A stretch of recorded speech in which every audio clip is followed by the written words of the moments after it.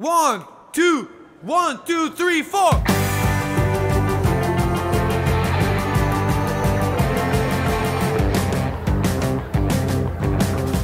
I'm up on the stage, all dressed up in Valentino, and my boots are shiny.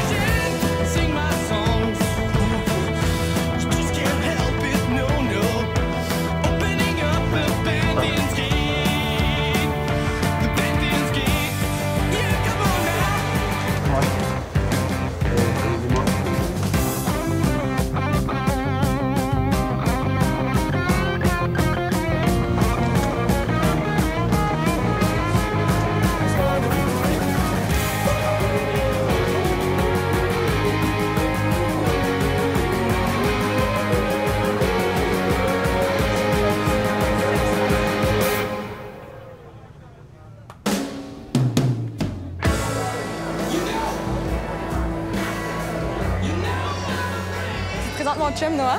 Allô, allô, je suis enchanté. Ah, c'est lui l'ingénieur, c'est ça? Ouais, c'est c'est moi, c'est l'ingénieur. Moi, c'est Louise. Sandrine, Salut. On est ensemble au bac. Ouais, je, je vois. Léo va faire une grande avocate.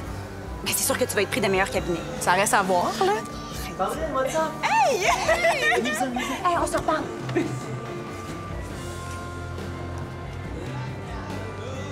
Ça va? Ouais. Sûr? Ouais. C'est juste que je les regarde, puis ils ont tellement toutes l'air plus à l'aise que moi, là. Léo, t'es magnifique, t'es brillante, puis ta place est ici. C'est le meilleur. Va être encore meilleur si on va chercher un truc à boire. Bonne idée.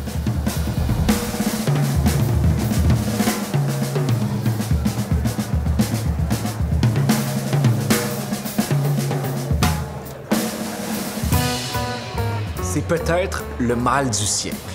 On le ressent à petite dose quand on rencontre quelqu'un pour la première fois ou quand on s'apprête à monter sur scène. On est tous anxieux, mais on l'est pas tous de la même manière. Pour certains, c'est un état temporaire, lié à des événements importants de vie. Pour d'autres, c'est un obstacle à tous les jours. La détresse psychologique chez les jeunes adultes en particulier a triplé depuis le début de la pandémie. Une étude de l'Université de Sherbrooke début 2021 nous apprend que 58% des cégepiens et universitaires au Québec pressentent des symptômes forts d'anxiété ou de dépression. 58 là, c'est énorme, c'est trop. Il doit y avoir quelque chose qui cloche à quelque part, quelque chose de systémique. J'ai donc essayé de comprendre pourquoi tant de gens sont anxieux autour de moi. Et j'ai trouvé quelques réponses. Aujourd'hui, on va parler d'anxiété au 21e siècle.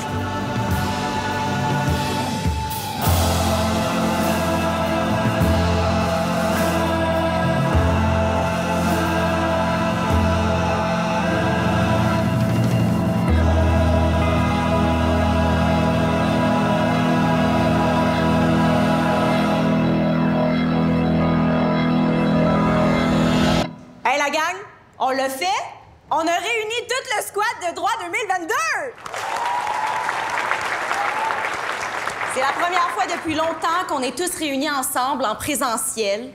Puis ce soir, on va fêter ça. Donc, je laisse tout de suite la parole à nos plus fiers représentants, celles et ceux qui ont brillé tout au long du bac, qui ont été là pour nous, qui ont manqué de sommeil, mais, mais, mais, mais, qui ont tout donné. J'aimerais commencer par une amie et collègue extraordinaire, mesdames et messieurs, Léonie Doucette! que est-ce que c'était prévu? Non. Ah ouais, viens ça! Viens ça, petit!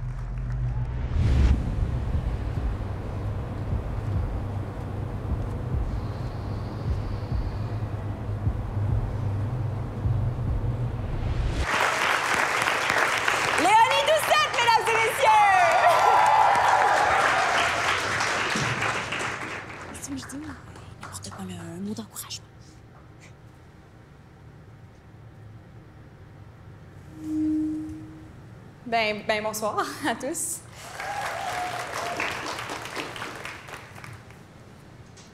Euh... Ben, ça me fait plaisir d'être là avec vous ce soir. Euh... euh, ben, j'ai rien préparé. euh.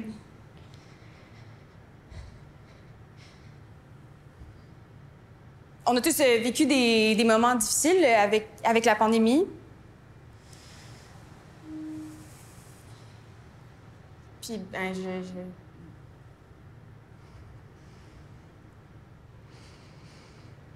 Euh, euh, c'est pas rien.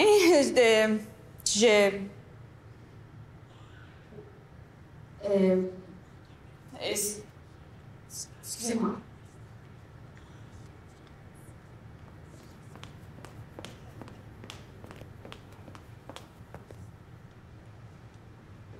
Euh, Est-ce que quelqu'un peut aller voir si c'est correct?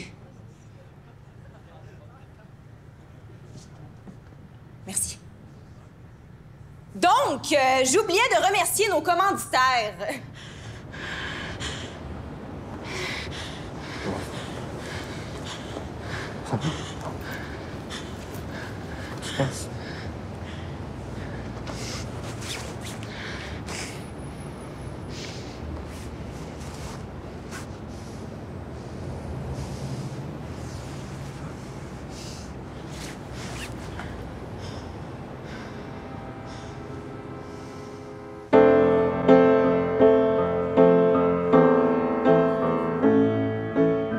L'anxiété à la base, c'est juste un mécanisme biologique présent chez tous les êtres humains qui est essentiel à notre survie.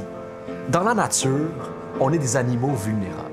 On n'a pas de griffes énormes, on peut pas voler, on peut pas courir à toute vitesse, ce qui fait que nos ancêtres ont trouvé une arme très puissante, l'inquiétude. L'inquiétude qui nous permet de tout prévoir, d'éviter les grands dangers et de rester en vie, ce qui est assez important quand même. Le problème, c'est qu'au fil du temps, nos inquiétudes sont devenues, pour trop de gens, quotidiennes et excessives. Quand l'anxiété persiste et nous empêche de faire nos activités du quotidien, on peut parler de troubles anxieux. Selon les experts en santé mentale, il existe quatre formes principales de troubles anxieux. La phobie, l'anxiété sociale, l'anxiété généralisée, le trouble panique. Les symptômes varient énormément selon les gens, mais ce qui est certain, c'est qu'il y a des vrais effets psychologiques et physiques à l'anxiété. Des pensées qui s'accélèrent, qui s'empilent, qui se brouillent, un sentiment d'étourdissement, des palpitations cardiaques, la respiration qui s'accélère, un sentiment d'étouffement, de déconnexion et d'irréalité. L'Institut Douglas nous dit que la plupart des troubles anxieux peuvent être définis comme la peur de perdre le contrôle. Perdre le contrôle et tomber dans la fiction.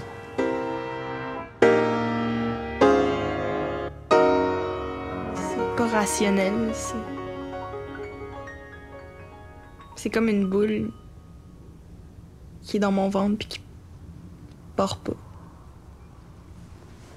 Qui part pas, genre. Jamais? Ben, des fois c'est moins fort, des fois je. Des fois je la sens presque pas. Comme l'autre jour quand on courait pour aller chercher ta crème glacée. en, en plein hiver, là.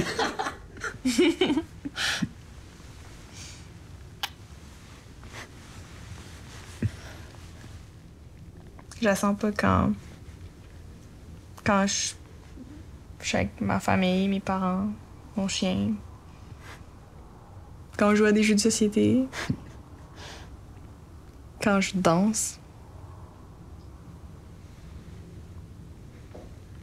Mais sinon, ouais, je. Je la sens tout le temps. Ça commence dans ma tête, je mes pensées s'accélèrent, puis je, je fais des liens que- qui n'existent pas, là, ça me, ça me fait peur un peu. T'as peur de quoi? Ben, de plein de choses. J'ai peur. euh, J'ai peur que les autres s'éloignent de moi. J'ai peur de de pas être à bonne place dans le monde.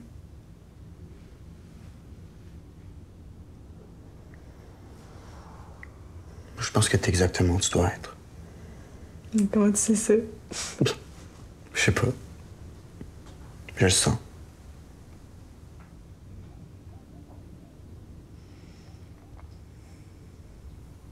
J'ai peur aussi de laisser l'anxiété prendre toute la place, tout le temps.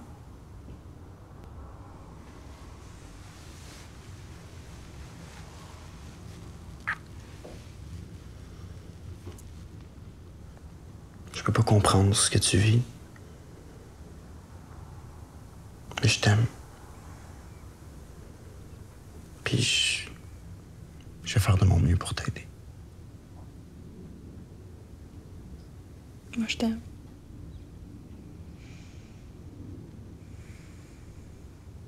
Je veux vraiment comprendre d'où ça vient. Je- Comment aller mieux.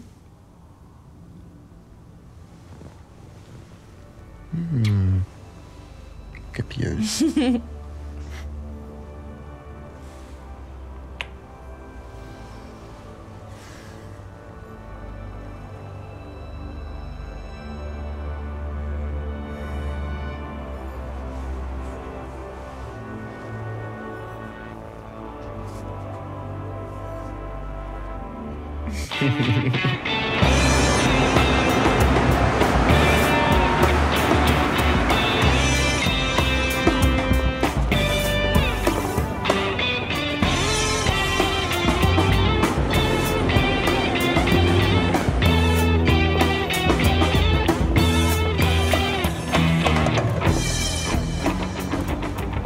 de causes possibles à l'anxiété. Ça peut être en partie héréditaire. Ça peut venir d'une expérience difficile qu'on a eue dans le passé, du style parental qu'on a eu, de nos relations, de notre travail ou tout simplement de la culture qui nous entoure. Je veux développer rapidement sur deux troubles anxieux très communs. L'anxiété généralisée et l'anxiété sociale. Une personne avec un trouble d'anxiété généralisée va ressentir toutes sortes de craintes intenses et irrationnelles au quotidien et à long terme. Ça, ça crée beaucoup d'agitation et donc beaucoup de fatigue, mais ça se soigne, notamment avec la psychothérapie. L'anxiété sociale, c'est une peur excessive du jugement des autres. Lorsqu'on est en groupe, que ce soit avec quelques amis ou dans un événement public, on se sent observé exagérément. Ça peut nous amener à chercher désespérément à éviter toutes les formes de rassemblements et de contacts sociaux. Mais encore une fois, il y a des traitements qui fonctionnent.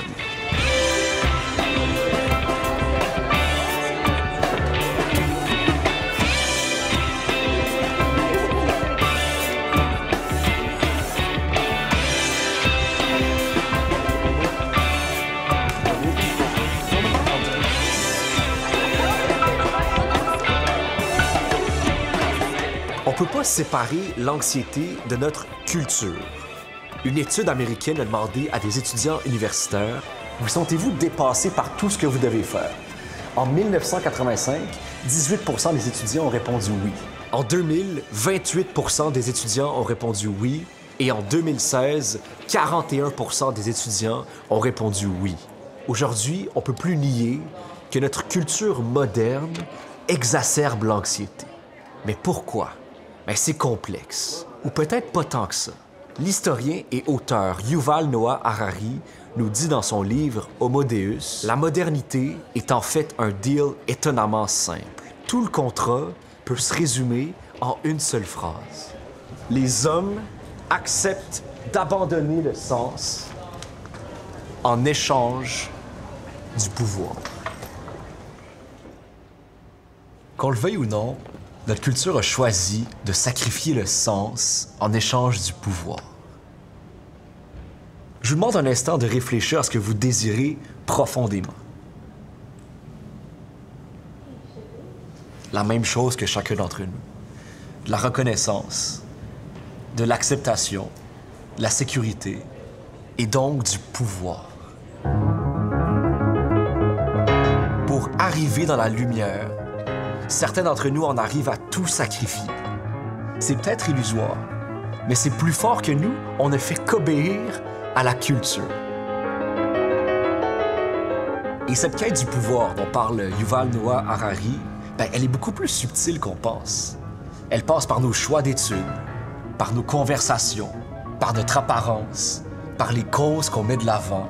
Bonjour tout le monde, excusez de mon retard. Page 136, mécanique des fluides, s'il vous plaît. C'est notre quête commune, même si elle ne s'exprime pas de la même manière pour tous. Même si certains disent en être complètement détachés, ben c'est impossible du fait même qu'ils vivent en société.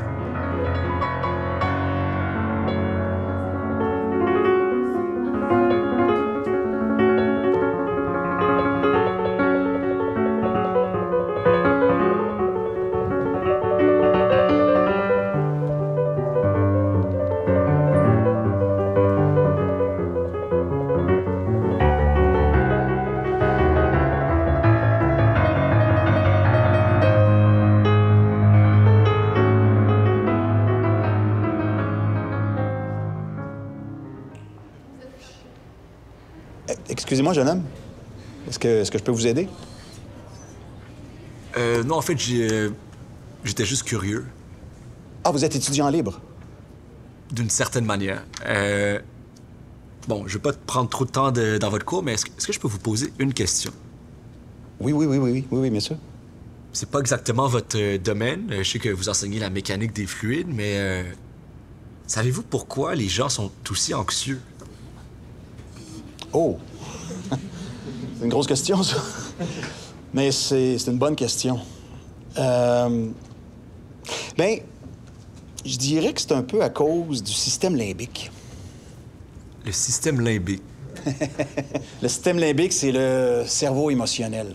L'hippocampe, l'hypothalamus, l'amygdale. Ça, c'est les zones du cerveau qui gèrent nos réactions, nos émotions, nos sentiments. En contrepartie, il y a le cortex préfrontal qui, lui, gère la pensée rationnelle.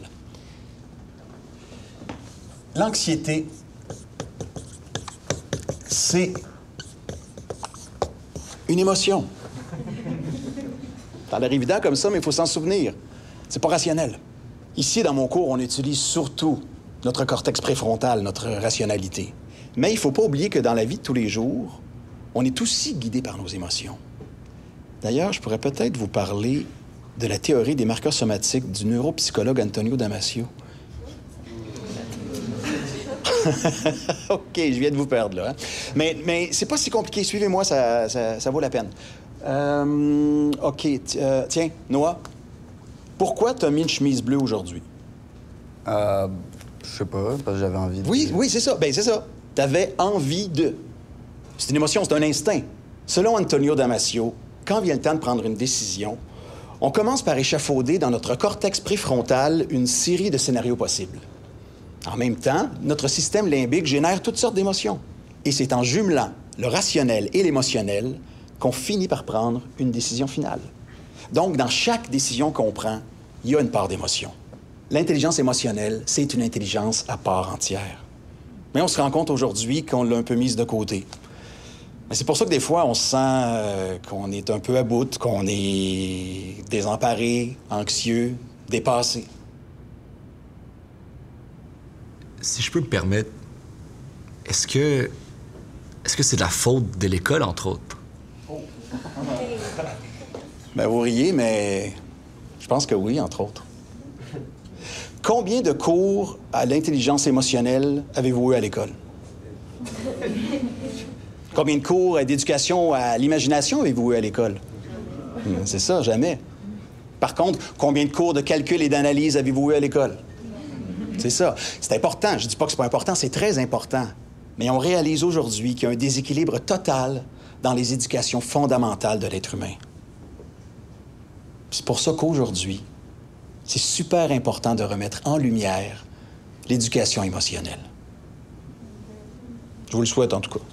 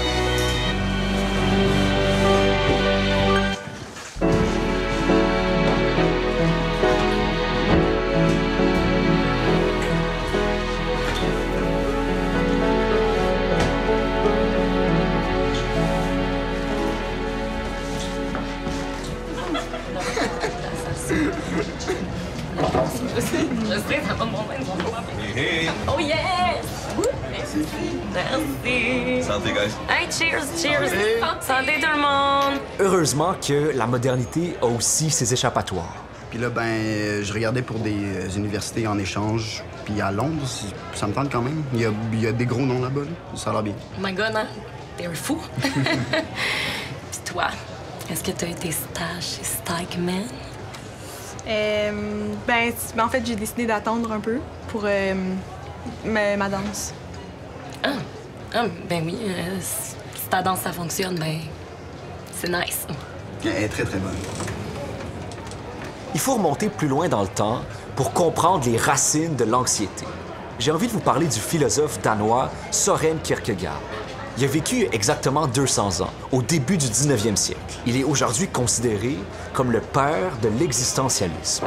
En très très gros, l'existentialisme, c'est d'abord un constat que c'est impossible d'expliquer notre présence dans la vie. Et ensuite, c'est la réponse par l'action. Parce que c'est impossible d'expliquer notre présence sur Terre, la seule chose qu'on peut faire, c'est de se forger soi-même l'essence de sa vie.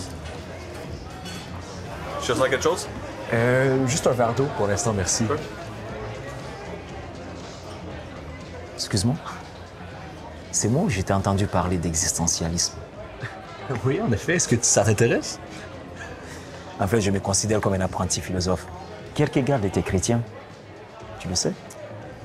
Il vivait dans un monde très religieux. Et il, il a hérité des valeurs dont Nietzsche parle euh, dans la généalogie de la morale. La honte, le péché, la souffrance, la tempérance, la charité. Toutes ces valeurs judéo-chrétiennes qui ont donné naissance à sa philosophie. Et c'est c'est un des premiers qui a parlé du concept d'anxiété, non? Dans son livre de 1844, Le concept de l'angoisse. Absolument. Pensez une seconde. Pour un croyant, chaque choix de vie peut devenir la distinction entre l'enfer et le paradis pour l'éternité. Et c'est un poids énorme. Et d'un autre côté, l'anxiété pour Kierkegaard, c'est la possibilité des possibilités. Parce que dans chacune de nos décisions, on sculpte la personne qu'on deviendra. Et plus fort encore, on crée le souvenir de nous-mêmes qu'on lègue à l'éternité. Aujourd'hui, on peut être croyant ou non. Mais force est de constater qu'on est encore tous influencés par ces valeurs judéo-chrétiennes. On le sent tous, certains plus que d'autres, la pression existentielle derrière nos choix de vie. On se flagelle, persuadé dans notre subconscient qu'on n'est pas à la bonne place dans le monde. Et qu'on en fait trop. Et qu'on mérite moins.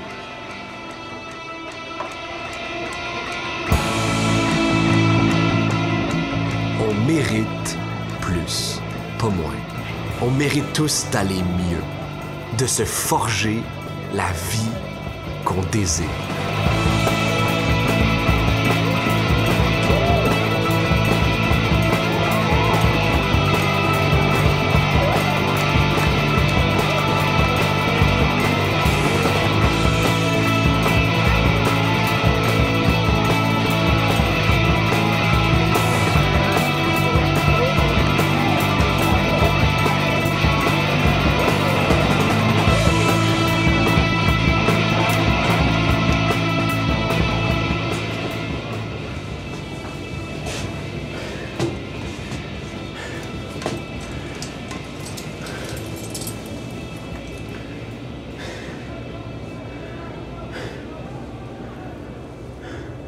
Ça t'arrive-tu des fois de. de te sentir seul? Euh. Oui. Oui, oui. Comme tout le monde, j'imagine. Quoi, toi, tu te sens seul en ce moment? Non, non, pas en ce moment, mais. Je sais pas, on dirait que même quand je suis avec des gens, il y a une. Une distance, genre. C'est Peut-être dans ma tête, là. Peut-être que la pandémie a pas aidé, mais je. Non, ça va être weird, là. Non, non, je. Je suis là. Mais c'est c'est comme si tout le monde vit dans sa petite bulle, genre. Puis là, tu rencontres quelqu'un, tu te rapproches, tu penses la toucher, puis. C'est comme si au dernier moment, tu te rends compte que vous êtes séparés par un mur invisible. Quoi, c'est. C'est nous deux, ça? tu, tu penses qu'on est séparés par un mur invisible? non, je niaise. Mais non, je pense pas. Je pense qu'on on arrive à se comprendre la plupart du temps.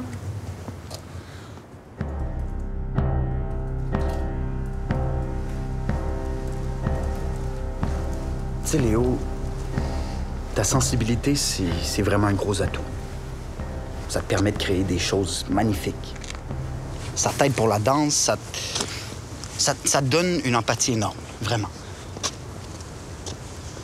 Mais ça te fait beaucoup penser. Peut-être un peu trop, des fois. Ouais. Tu sais, il faut. Il faut être capable de, de- de décrocher. Hein, juste de, profiter du, du moment présent, là. là. Ben, je sais, là, je suis capable de décrocher. Ouais, c'est ça que je dis. Ben, c'était comme un reproche, là, je sais pas. Léo, gars, il, il est tard, là. Tu, tu veux pas comme rentrer sans drame? Ben là, j'essayais pas de faire un drame, là, je voulais juste te parler. Non, oui, oui, je sais, je sais. Mais tu, tu- tu fais souvent ça, là. Qu'est-ce que je fais souvent? Je comprends pas, là. Mais tu, tu, tu te perds. Tu te perds dans, dans tes pensées, dans, dans ton anxiété. C'est- quoi le rapport, là?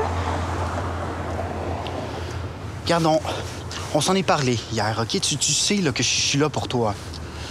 Mais, mais moi, moi aussi, j'ai des trucs à gérer, OK? J'ai j'ai des problèmes, là, moi aussi. Faut, faut apprendre à, à se contrôler. OK, OK, vraiment, là? Me contrôler. Je fais juste ça, me contrôler. Tu veux me dire ça, là? Regarde, c'est- pas ça que je voulais dire. Je fais juste ça, des efforts, là. Je voulais juste te parler, là. Je- OK, regarde, je pense... je- Je pense qu'on on s'est mal compris, OK? Moi, je je voulais... Ouais, je pense que oui. On a du mal à se comprendre.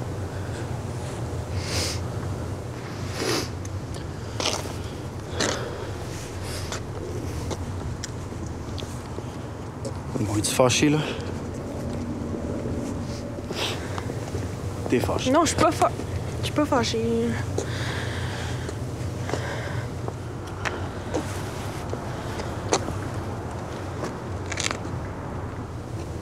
Mais je pense que je vais rentrer seule ce soir, OK?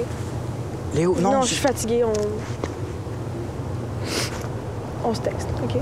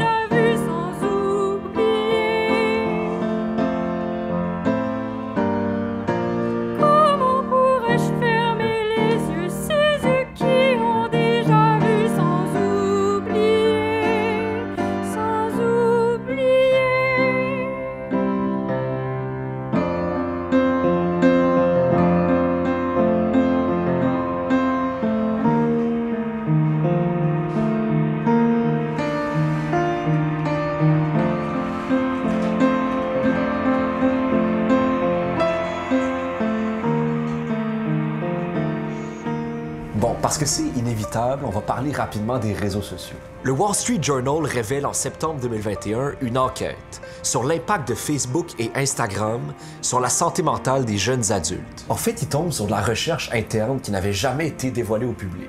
Donc, à la question, dans ces sentiments que vous avez pu vivre en derniers mois, lequel a commencé sur Instagram? Voici quelques réponses. La nécessité d'avoir une image parfaite.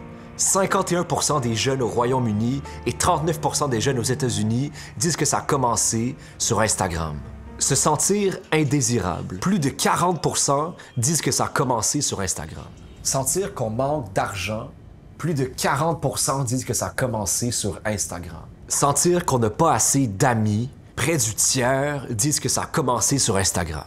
Le Wall Street Journal nous dit que la tendance à partager seulement les meilleurs moments la pression de la perfection et un produit addictif peut mener les adolescents dans une spirale menant à une vision malsaine de leur propre corps, à de la dépression ou à des troubles alimentaires. Depuis 2007, à peu près au moment où Facebook se popularise, le taux de suicide aux États-Unis pour les 10-14 ans a doublé. Pour les jeunes filles, le taux a quadruplé.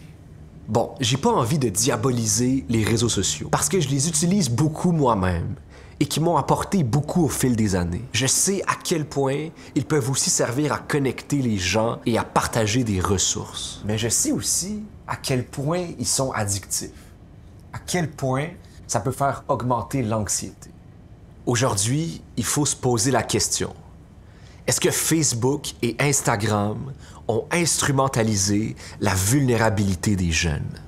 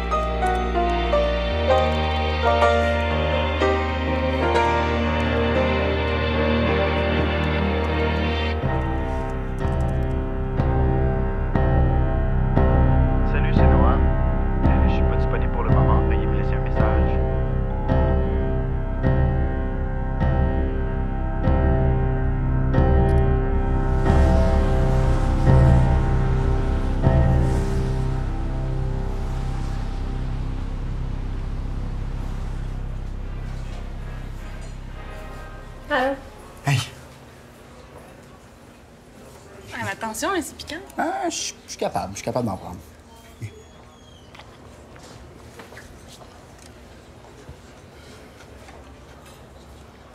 Ah, non, mais là... Elle prend de l'eau. hein? Non, ça, ça, ça, en pire. Non, fais moi.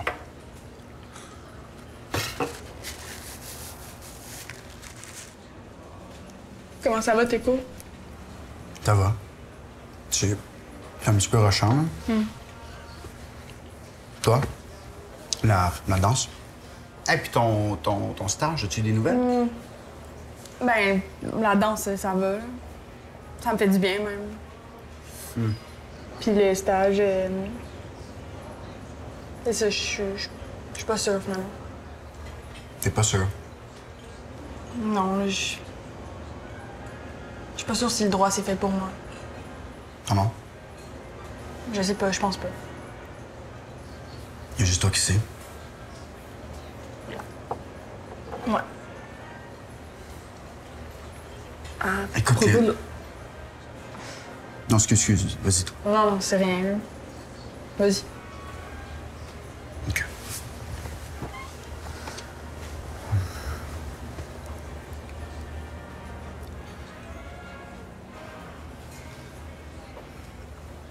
Je pense que j'ai des doutes sur notre relation.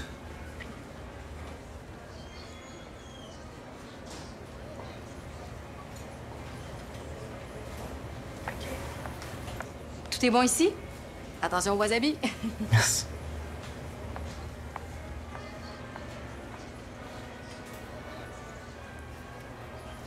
Je tiens tellement à toi. là. Ok, arrête, là. C'est vrai. Ok. Puis t'as des doutes. Ouais. Je... Je sais pas à quel point je, peux m'engager. À... À quel point je, peux être en couple en ce moment.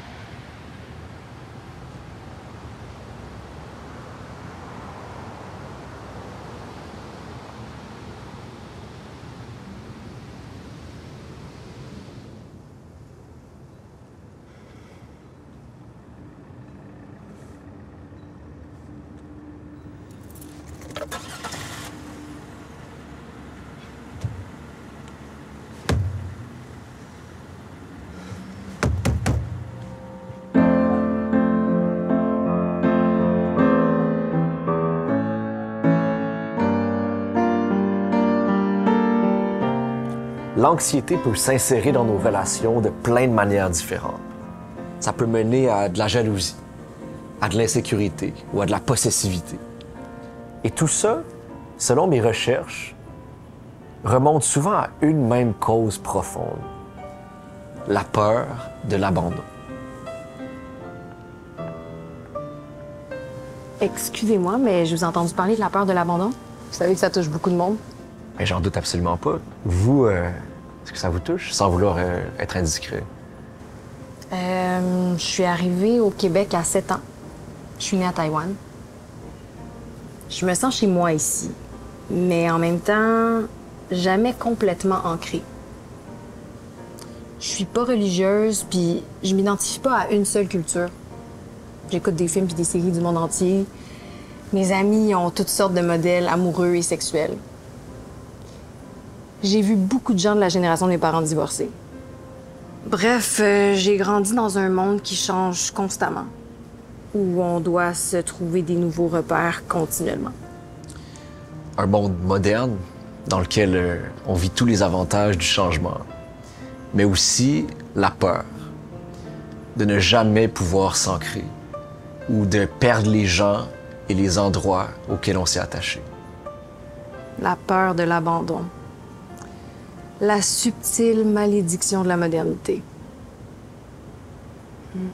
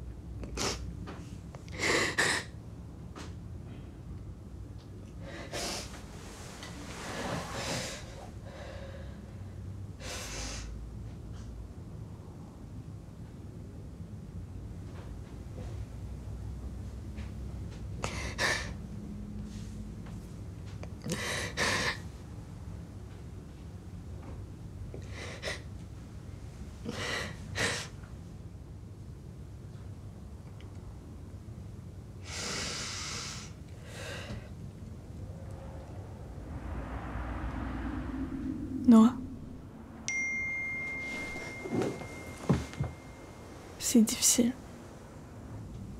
Je veux que tu saches que je, je suis reconnaissante des moments forts qu'on a vécus.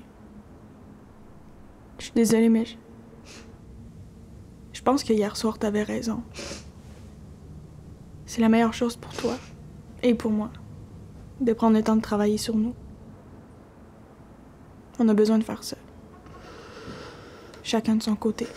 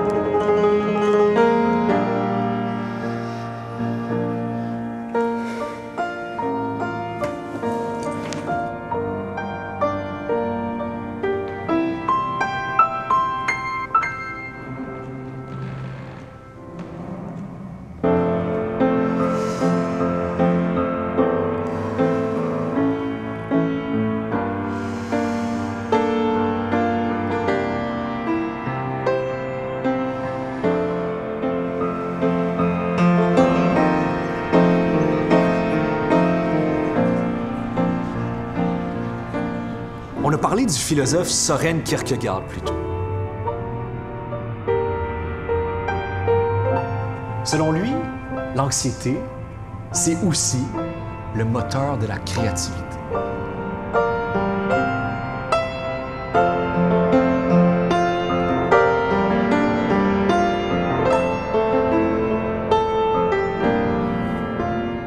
Pensez-y, si on est anxieux, si on a le vertige ou la nausée, c'est parce qu'on s'est permis de regarder au fin fond de l'abysse. On s'est permis de sonder les limites du monde et de l'existence. L'alternative, c'est quoi? C'est de ne jamais regarder vers le bas. OK, on serait moins anxieux, mais il nous manquerait un élément fondamental de la liberté.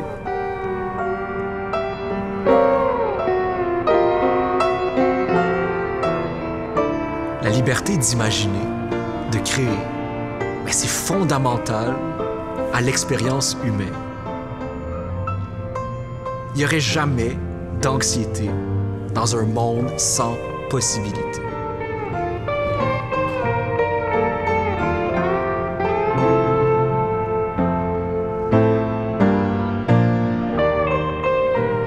Le grand psychologue existentiel Rollo May a dit dans son livre The Meaning of Anxiety que créer, c'est d'abord détruire. C'est d'abord démanteler ces modèles du passé, déraciner ce qu'on traîne avec nous depuis l'enfance, pour ensuite s'ériger des nouvelles façons de vivre.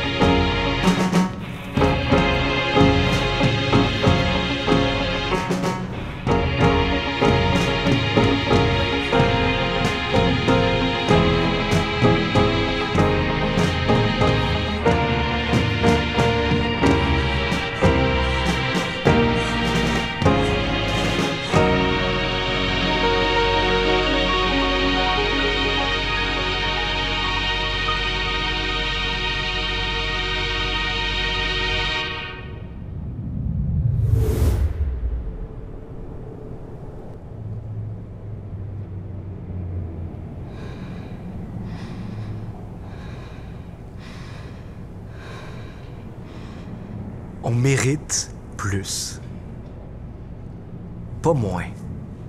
Il faut se le répéter tous les jours. Il faut se le répéter dans les moments les plus difficiles. Vous n'êtes pas seul.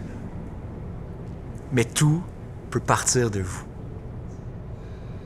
Tout peut partir d'une simple impulsion.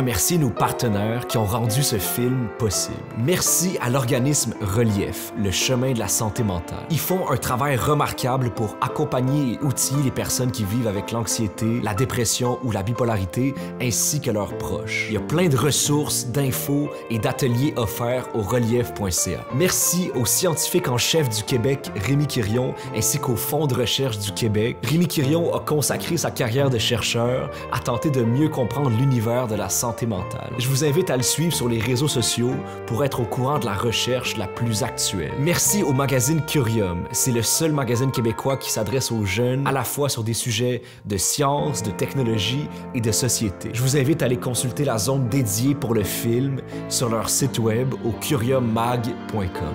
Et merci à vous d'avoir écouté ce film sur lequel on a beaucoup travaillé quand même.